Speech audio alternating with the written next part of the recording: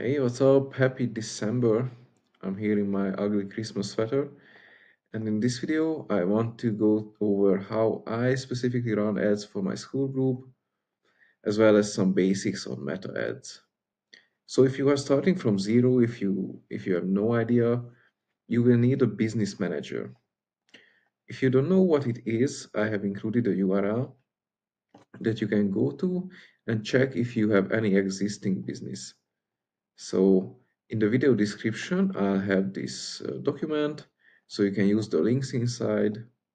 So let's go to business.facebook.com forward slash select.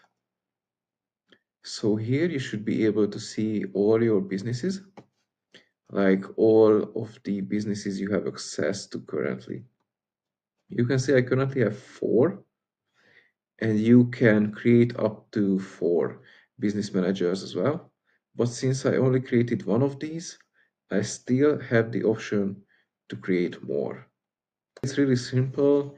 You just need to click on create a business, fill out your data, which should be name or business name. It doesn't matter. You can change it later. Once you do this, you need to go to your email and then click the link and you can go inside your business and start managing it.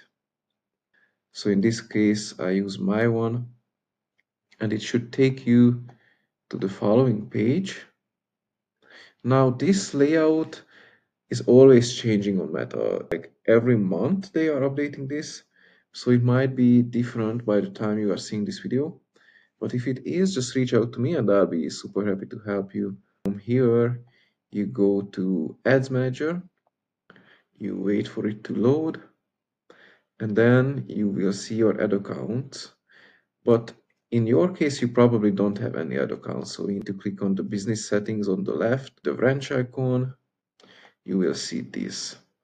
So first you will see your name here under people. So these are all the people that have access to the business portfolio. You can easily add more people by just inviting and then adding an email address so it's super simple. You will need to start running ads is a page. So you can see I have multiple pages added. You can add the page. If your personal Facebook is already connected to a page, uh, in my case, I have it connected to my agency, which is Wupscale. So you can see I can add it here, but I already have it added, the business manager. You can also create a brand new page from this section. You just need to add the page name, a category, and then a short bio section about your page. Then you need to you need to create an ad account and then add if you don't have any. It's super easy to create.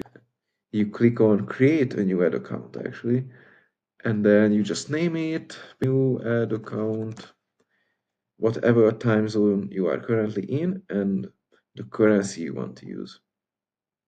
So this will be for my business. Then you click on create.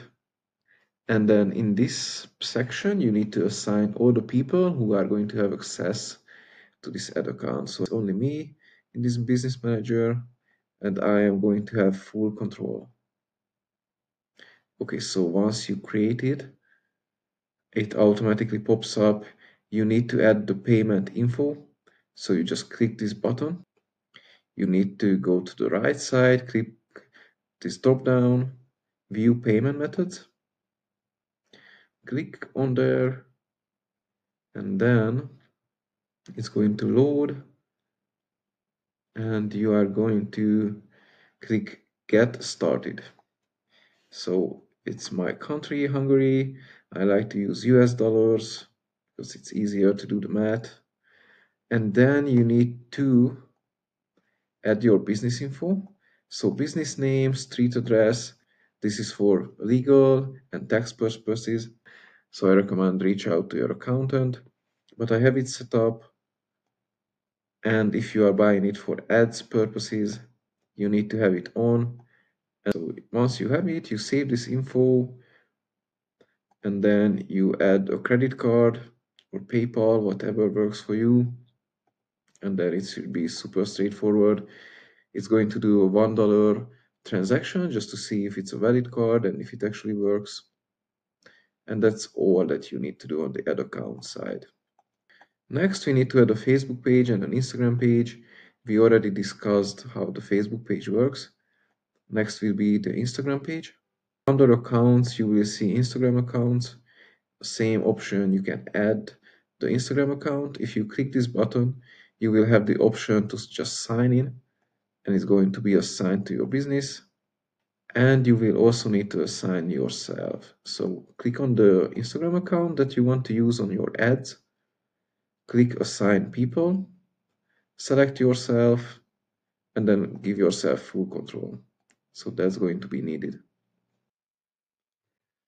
So as the last step we have installing a pixel which is super important for you to track your data see if your ads are working so this is a two-step process you need to go to your business settings again, click on data sources, and then select data sets.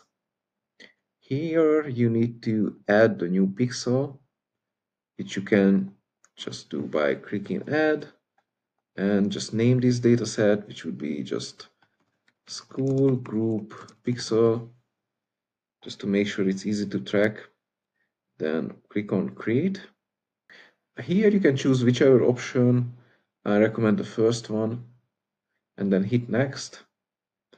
And then you can just exit this.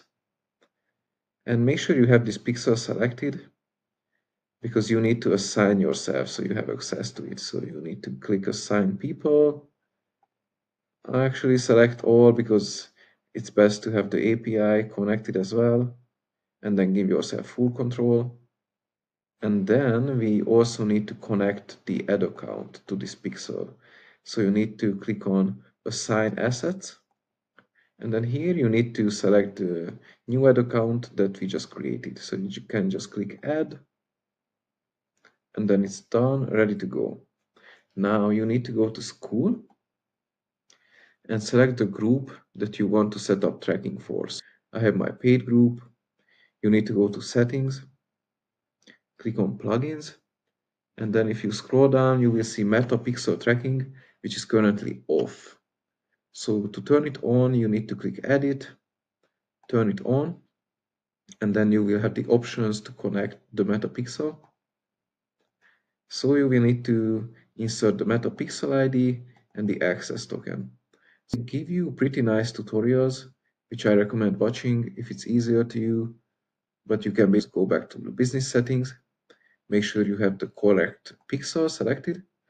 Click on Open in Events Manager. And then once you have the pixel, you go to Settings. And you will find the dataset ID here. So it's named dataset ID, but the metapixel ID is the same.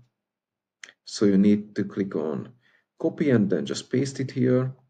For the access token, scroll down a little bit and we need to select Mm, set up with the direct integration and you will see an option to generate access token.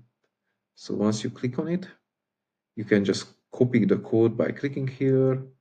So it's done. Go back to the Skool page and then paste the access token. So once it's done, you just need to connect your page and it takes a few seconds to connect it. So we need to test the app. There are two ways to do it. You can just click on test and you can see it's a success. But you can also go back to your pixel uh, go to test events and then select the second one confirm your website events are set up correctly and then run the test to your Skool page. Enter the url and actually make sure it's going to the about section so open website Okay, we are at the About page. Let's do some clicks. Go back to the Events Manager and we can see its success is tracking page view.